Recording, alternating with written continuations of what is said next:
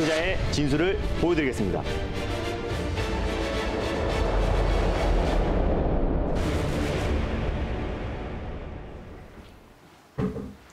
안녕하세요. 달릴까 말까 정수연입니다. 안녕하세요. 엠뱅골드 김준호 매니저입니다. 네, 시장이 점점 빠지면서 네. 이럴 때일수록 좀 모멘텀이 확실한 종목들을 노리는 게 중요할 것 같은데 오늘 새로운 종목들 좀 준비되셨나요? 네, 오늘도 이제 시장과 좀 상관계수가 적은 종목들로 좀 준비를 했고요. 음, 제가 네. 코스피 시장에서 이제 코스닥 시장으로 수급이 분산될 수 있을 것이다라고 말씀드렸습니다. 그렇다고 네. 해가지고 코스피 시장이 또 급락이 나온다는 건 아니고요. 오늘은 좀 차익 매물이 좀 출회되고 있다라고 보시면 좋을 것 같아요. 또 네. 이번 주에 또 이제 굵직굵직한 또 삼성전자 또 LG화학을 비롯해서 실적 발표를 앞두고 있는 시점이어서 음. 어, 시장 자체는 지금 이제 눈치 보기 장세가 계속 이어지고 있고요. 그동안 또 워낙에 경제 재개에 대한 기대감으로 또 풍부한 유동성으로 큰 상승이 나왔던 만큼 추가적인 모멘텀이 현재 부재한 상태에서 약간의 좀 차익 매물이 출회되고 있다라고 보시면 좋을 것 같습니다. 너무 단기간에 급격한 상승이 나왔기 때문에요. 언제든지 좀 조정이 나올 수 있을 가능성도 항상 열어두시고 또 코스피에서 또 이제 코스닥 쪽으로 수급이 또 이동되고 있는 분위기이니까 오히려 코스닥에서 아직까지 또 시장 대비 또 그리고 키 맞추기 일환으로 출발하지 않은 종목들 저점 매수 그리고 또 달릴까 말까에서 소개해드리는 그 종목들로 참고하셔가지고 대응하신다고 했을 때는요 시장이 좀 출렁거리고 변동성이 확대된다고 하더라도 안정적인 수익을 챙길 수 있을 거라 판단되고 있습니다. 네, 좀 확실한 종목들 가지고 일희일비하지 않는 게 네. 이, 이 지금 시장에서 중요한 것 같은데요. 네, 그러면 본격적으로 두 가지 종목 새롭게 만나기 전에 네. 리뷰 먼저 해볼게요. 오늘 이러한 시장 속에서도 52주 신고가를 기록한 환인제약. 네, 네. 무려 오늘 7% 넘게까지 치솟던데 한번 리뷰해볼까요? 네, 맞습니다. 음. 일단 환인제약 같은 경우는 이제 코로나 블루 관련 종목을 제가 시리즈로 연이어서 말씀을 드렸었어요. 네, 네. 지난번에 국제약품 말씀드렸었고 동성제약 그 다음 후속주가 이제 환인제약을 말씀드렸었는데 매출 비중이 신경계 관련해서 85%의 매출 비중을 차지하고 있습니다. 어, 주 주력 상품은 또 우력 우울증 치료제와 치매 치료제 관련인데 오히려 지금 고령화 사회와 치매 환자가 늘어나고 또 사회적 문제 코로나가 계속 장기화되면 따- 따라서 우울증 치료제라든지 또 치매 치료제 고령화 사회에서 가장 또 핵심이 될 수 있는 종목이다라고 말씀을 드렸습니다. 그래서 코로나 블루 시리즈로 말씀을 드렸던 종목이고요. 또 오늘 제약바이오 종목들이 일제히 좀 조정이 나온 종목들이 굉장히 많아요. 근데 네. 이제 환인제약 같은 경우는 오늘 좀 강한 상승이 나와주면서 2차 목표가 언저리까지 급등이 나왔습니다. 제가 2차 목표가를 넉넉하게 2만 원까지 잡아드렸는데요. 오늘 고가가 19,450원까지 갔기 때문에 2차 목표가 언저리까지 갔다가 살짝 차익 매물이 출회되고 있다고 보시면 될 것 같아요. 그래서 한 16% 정도의 수익이 찍히지 않을까 판단되고 있는데 익절 라인대를 다시 한번 잡아드리도록 하겠습니다. 익절가를요. 지금 현재 18,800원대에 위치해 있는데 종가상 18,700원 라인대를 이탈 시 어, 수익을 좀 챙기시는 전략이 필요하다고 판단되고 있고요. 지지를 해줬을 때는 다시 한번 제가 2차 목표가로 잡아드렸던 2만 원 라인대까지 수익률 극대화 전략을 취했으면 좋겠습니다. 수익 축하드립니다. 네, 수익 축하드리고요. 익절가 18,700원 유념하시기 바랍니다. 네.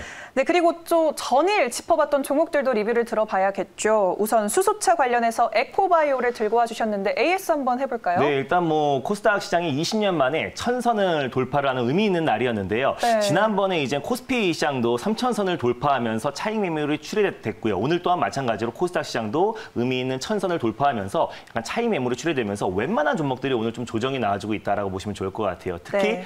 전일 좀 강했던 종목들이 오늘 차익 매물이 출회되고 있는데 에코바이오도 마찬가지입니다. 이 바닥 구간에서 조정이 나와봐야 이 박스권 하단 부위라고 말씀을 드렸었고 에코바이오 같은 경우도 수소 연료 전지 관련해서 가장 대표적이고 또 JNK 히터와 같이 손을 잡고 계속해서 수소 사업을 발전을 하고 있는 기업이다라고 말씀을 드렸습니다. 바이오 황 관련해서도 대표적인 친환경 비료 관련 종- 종목이다라고 보시면 될 것 같고 앞으로 이제 바이든 정권이 출범하면서 정책이 바뀐다고 하더라도 대북 정책이 바뀐다고 하더라도 인도적 지원은 계속해서 이어질 수 있을 것이다라고 말씀드렸습니다.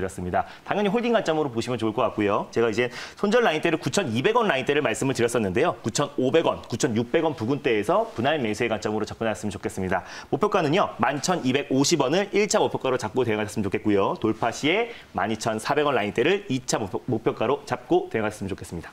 네, 에코바이오 다시 가격 전략 만나봤고요. 또 어제 중소형 제약바이오주에서 티움바이오를 네. 재추천해 주셨어요. 한번 맞- 짚어볼게요. 맞습니다. 장 초반까지만 하더라도 시장이 이제 천선까지 돌파를 하면서 그에 따라서 이제 강한 모습 보여주다가요. 네. 시장이 좀 출렁거리면서 약간의 차익 매물이 나와주고 있다라고 보시면 좋을 것 같아요. 이미 이제 가격 조정이 충분히 이어지는 상태이기 때문에 현 구간에서 큰 조정은 제한적일 수 있을 것이다 판단되고 있고요. 지난번에 티움바이오를 한번 수- 한 차례 소개해드리고 나서 60% 이상의 큰 상승이 나왔다가 최근에 제약바이오 종목들이 일제히 조정이 나오면서 같이 일괄적으로 쪽으로 조정이 나왔다라고 보시면 좋을 것 같습니다. 전일 한 차례 말씀을 드렸었고 현재는 갭 상승한 이후에 살짝 차익 매물이 나와주고 있는데 당연히 홀딩 관점으로 보시면 좋을 것 같습니다. 시장 여파로 살짝 조정이 나와주고 있는 거기 때문에 오히려 조정 시 매수의 관점, 분할 매수의 관점으로 접근했으면 좋겠어요. 제가 일단 어, 경구용 자궁 내막증 치료제 관련해서 또 지금 현재 임상 이 A상이 진행하고 있는데 기술 수출 관련에 대한 모멘텀이 계속 이어지고 있다. 시총이 한 4천억 수준인데요. 지난번에 이제 경쟁 물질인 린자골릭스 같은 경우는 임상 이 A상 단계에서 7천억 규모의 기술 수출이 이뤄- 이뤄진 만큼 오히려 티움바이오의 기술력이 입증된 기업이기 때문에 오히려 더 각, 어, 그 파이프라인의 가치가 계속 부각될 수 있고 자궁 내막증 치료제 관련해서 기술 수출에 대한 기대감도 계속 이어질 수 있다라고 말씀을 드렸습니다. 당연히 홀딩 관점으로 보시면 좋겠고요. 1차 목표가는 22,800원 라인대를 잡고 대응하셨으면 좋겠고 돌파 시에 25,000원 라인대를 2차 목표가로 잡고 대응하셨으면 좋겠습니다. 손절 라인대는요. 18,600원 라인대를 말씀드렸는데요. 19,000원 부근대에서 분할 매수의 관점으로 접근하셨으면 좋겠습니다. 네, 알겠습니다. 전일 짚어본 종목 두 가지까지 포함해서 또 네. 세 가지 종목 이렇게 리뷰 들어봤습니다. 네, 그러면 본격적으로 달릴까 말까 첫 번째 섹터로 시작을 해볼 텐데요. 오늘의 첫 번째 섹터 상당히 궁금해요. 어떤 섹터일까요? 아, 이 섹터는요, 정말 네. 오랜만에 가져온 섹터인 것 같아요. 한 3, 4개월 만에 가져온 오. 섹터였는데요. 최근에 다시 한번 시장에서 또 수급이 들어와 주고 있어서 오랜만에 가져왔습니다. 첫 번째 섹터는 디지털 화폐 섹터입니다. 어, 디지털 화폐 섹터 진짜 상당히 오랜만에 네. 보는 섹터인데요. 그만큼 의견이 궁금합니다. 지금 이 시점에서 달려야 할까요? 말아야 할까요? 달릴까 말까? 매니저님의 선택은? 지금은 달려야 됩니다. 어, 오랜만에 들고 오신 만큼 또 달리자라는 의견 주셨는데 왜일까요? 어, 일단 뭐 디지털 화폐 관련 종목들은 제가 예전에 음. 이제 달릴까 말까 코너를 통해서 여러 번 소개해드렸었는데 그때마다 이제 목표가를 터치하면서 큰 상승이 나왔어요. 근데 네. 이제 디지털 화폐 관련 종목들이 최근에 또 언택트 관련 종목으로 같이 또 묶이면서 최근에 음. 확진자 추이가 좀 줄어들면서 좀 시장 여파로 좀 조정이 좀 과도하게 나왔다라고 판단되고 있습니다. 네. 이 종목들이 보통 이제 무인 점포 또 무인 편의점 관련 종목으로 같이 묶여버렸어요. 그래서 음. 네. 최근에 언택트 관련 종목들이 일제히 조정이 나왔잖아요. 그래서 디지털 화폐 관련 종목들도 같이 시장 여파로 조정이 나왔었는데 사실 디지털 화폐 관련 종목들은 무인 점포 외에도요. 디지털 화폐라는 또 그리고 가상화폐를 대체할 수 있는 위란 그리고 또 중국에서 지금 디지털 화폐를 추진하기 위해서 엄청난 속도를 추- 어, 속도를 내고 있잖아요. 그래서 그에 따라서 올해부터 우리 우리 우리나라와 또 일본과 같이 또 디지털 화폐 시범 도입을 추진한다고 했기 때문에 그 네. 모멘텀이 계속 이어질 수 있을 거란 판단에 또 그리고 가격 정도도 충분히 받아서 달리자라고 말씀드렸습니다. 음, 가격 조정도 충분히 받았고 또 올해 주목할 만한 네. 모멘텀들도 계속해서 나올 것이기 때문에 이 섹터를 들고 오신 것 같은데 네. 그럼 대장주를 들고 오셨겠고 어떤 종목을 들고 오셨을까요? 네, 일단 첫 번째로 소개해드릴 종목은요. 네, 일단 디지털 화폐 관련해서 가장 대표가 될 수 있는 종목이어서 가져왔습니다. 첫 번째 종목은요. KCS를 소개해드리겠습니다. 네, KCS 오늘 들고 와주신 네. 종목입니다. 그럼 KCS 현재 구간 어떻게 지나가고 있는지 화면으로 함께 확인해 보도록 하겠습니다. 현재 7%대 급등하고 있고요. 5,920원 선 지나가고 있습니다. 모멘텀 어떤 것들이 있을까요? 네, 일단 KCS를 가져온 이유를 직접 표를 보면서 말씀드리도록 하겠습니다.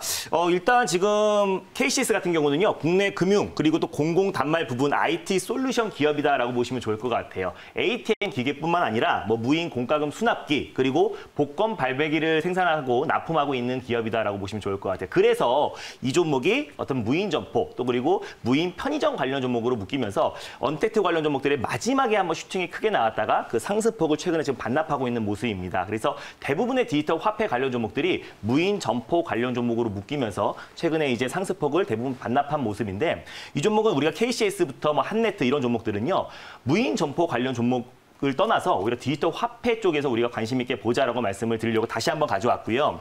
지금 뭐 중국에서 이제 올해부터 베이징, 또 상하이, 광동 주요 도시에서 올해 디지털 위안화를 사용을 어, 시험을 약속했습니다. 사용 시험을 약속했습니다. 그러니까 이렇게 지금 주요 도시에서 또 시험 도입을 했다라는 거는 어떤 최고 지도부, 중국의 최고 지도부가 디지털 세계 최초로 디지털 화폐를 도입하기 위한 어떤 의중이 좀 반영된 거 아닌가라는 게 전문가들의 시각, 어, 시각입니다. 그래서 오히려 지금 중국에서 계속해서 디지털 화폐를 속도를 내고 있다라는 거는 그 위안화를 네, 이제 기축통화로 빨리 선점하기 위해서 그리고 또 글로벌 또 신화폐 전쟁으로 부각되는 거 아닌가라는 지금 이야기가 계속 이어지고 있습니다. 그래서 지금 또 빠르게 또 기축동화로 선점 잠잠하기 위해서 지금 중국에서 계속 속도를 내고 있는데 그동안은 미국에서 약간 좀 부정적인 시각이었어요. 트럼프 대통령도 마찬가지로 반대 기조를 계속 이어져 왔기 때문에 어, 미국에서는 속도를 내지 못하고 있었었는데 이번에 이제 바이든 정권으로 이제 바뀌면서요. 다시 한번 또 암호화폐라든지 또 그리고 또 이제 디지털 화폐 쪽에서 긍정적인 시각이 나, 나와주고 있어서 오히려 또 이제 달러와 또 이하나의 신화폐 전쟁이 다시 한번 부각될 가능성이 굉장히 높다라고 판단되고 있습니다.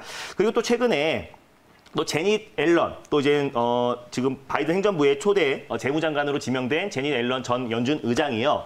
또 이제 비트코인 관련해서 부정적인 얘기를 많이 했었어요. 뭐 불법적으로도 많이 쓰이고 있고 돈 세탁, 자금 세탁에서 많이 쓰이고 있기 때문에 제도적 개선이 필요하다라는 발언이 나왔습니다. 그래서 오히려 지금 또 유럽은행에서도 마찬가지고요. 또 그리고 금융당국에서도 계속해서 전 세계 금융당국에서도 비트코인이나 암호화폐 관련해서 부정적인 얘기들이 계속 나와주고 있기 때문에 현 시점에서 중국이 올해부터 본격적으로 디지털 화폐 도입을 계속해서 속도를 내고 있고 또 미국에서도 다시 한번 그동안은 좀 부정적이었지만 미국에서도 디지털 화폐 도입에서 다시 서둘러서 암호화폐, 암호화폐 쪽을 조금 부정적으로 보고 있기 때문에 비트코인을 대안할 수 있는 그리고 디지털 화폐가 오히려 다시 한번 속도를 낼 수 있을 가능성이 굉장히 높다라고 판단되고 있습니다. 제롬 파월 연준 의장도 디지털 화폐 도입, 도입 가능성에 대해서 언급이 나왔던 만큼 우리나라와 일본도 올해부터 이제 시범 도입을 시작한다고 해요. 그래서 디지털 화폐 섹터 같은 경우는 가상화폐의 대안이 될 수 있고요. 그리고 또 중앙화폐에서 법정 관리, 법정 화폐이기 때문에 오히려 안정성 측면에서는 가상화폐보다 훨씬 더 유리하다고 판단되고 있습니다. 그래서 KCS 같은 경우는요.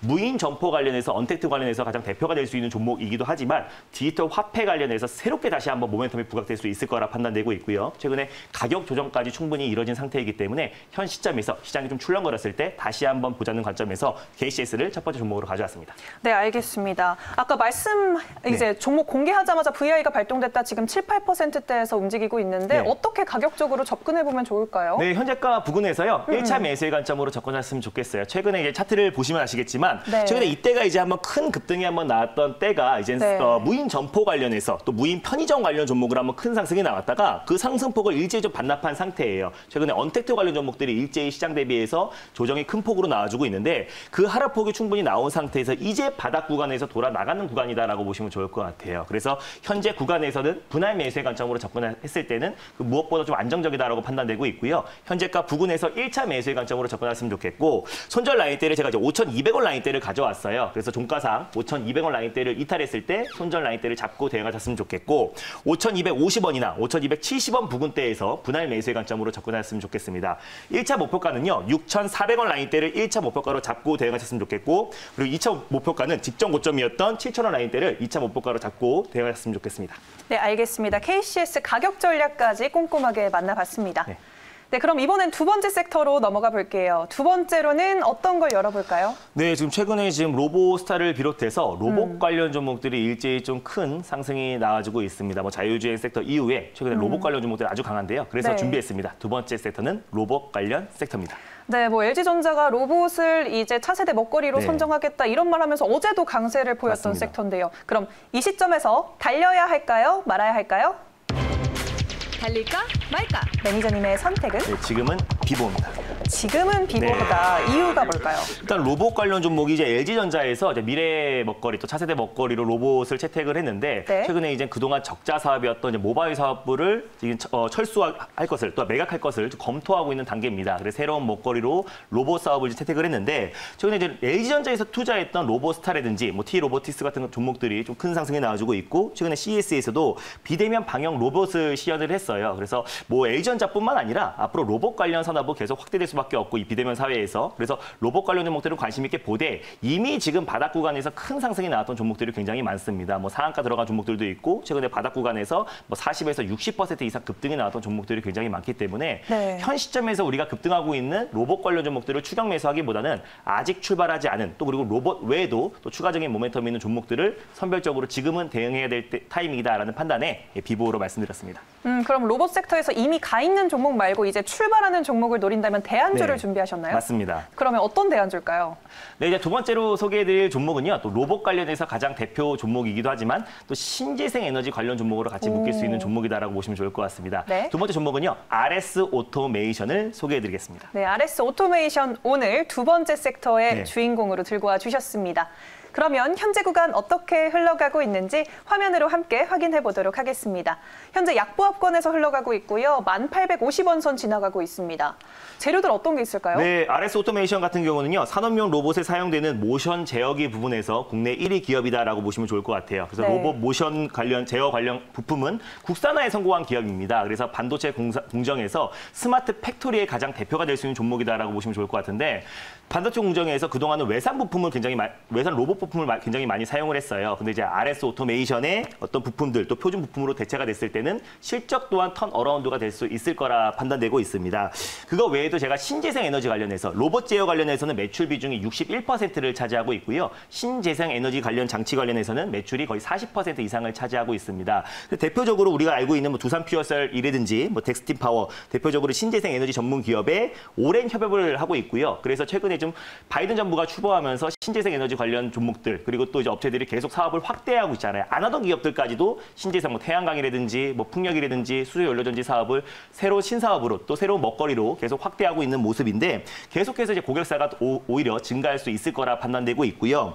미국에도 이제 법인을 설립을 했어요. 그래서 smart factory 관련해서 솔루션을 계속 확대할 수 있을 거라 판단되고 있고 그래서 올해 3분기부터 이제 누적 영업이익이 흑자 전환에 성공을 했습니다. 그래서 신재생 에너지 사업이 계속 확대되고 있고 또 현 정부 정책 수혜 섹터이기도 하고요. 그리고 또 미국 바이든 정부가 출범하면서 신재생 에너지 관련 종목들은 계속 관심 있게 봐야 되는데 신재생 에너지 제어 장치 관련해서 가장 대표가 될 수 있는 종목이다라고 보시면 좋을 것 같고 네. 매출 또한 꾸준히 증가하고 있어요. 그리고 또 아까 좀 전에 말씀드렸던 로봇 모션 제어 관련해서도 국산화에 성공한 유일한 기업이기 때문에 그에 따른 모멘텀 그리고 실적까지 같이 뒷받침될 수 있는 종목이라고 판단돼서요. 두 번째 종목으로 RS 오토메이션을 가져왔습니다. 네, 정책 흐름을 보나 또 실적 흐름을 보나 앞으로가 전망이 좀 좋아 보이는데 어떻게 접근해 볼까요? 좀 횡보 구간이 길었네요. 네, 맞습니다. 이게 이제 코로나 여파 이후에 박스권 랠리가 계속 지루하게 이어졌었는데요. 네. 저 전이 이제 로봇 관련 종목들이 일제히 상승이 나오면서 같이 좀 상승이 나왔다가 오늘은 살짝 쉬어가는 모습을 보인다라고 보시면 좋을 것 같아요. 근데 로봇 관련 섹터이기도 하지만 smart factory 관련해서 가장 대표가 될 수 있는 종목이다라고 보시면 될 것 같아요. 그리고 신재생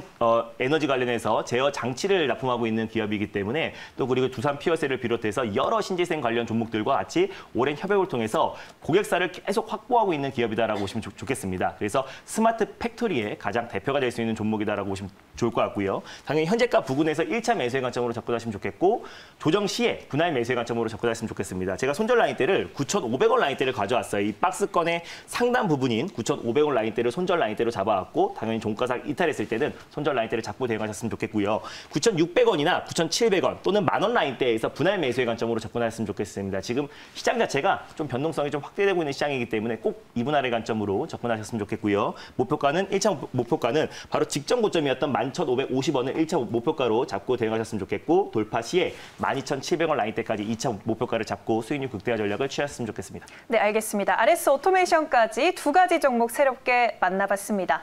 네, 더 많은 이야기가 필요한 분들 많으실 것 네. 같은데 무료 방송 오늘 켜시나요? 네, 맞습니다. 오늘도 어김없이 MBN골드 사이트에서 오후 4시 10분에 MBN골드 사이트에서 시장 전략에 대해서 자세하게 설명드리려고 합니다. 오늘 의미 있는 코스닥 시장에서 1000포인트를 돌파를 했는데요. 1000포인트 돌파한 이후에 약간의 차익 매물이 출회되고 있다라고 보시면 좋을 것 같습니다. 그래서 어떤 뭐 시장의 고점이 찍, 찍힌 건 아니고요.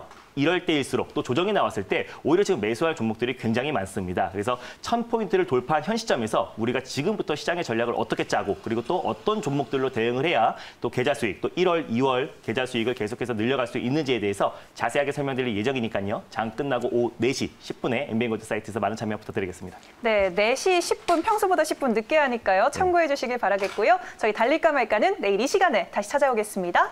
달릴까? 말까?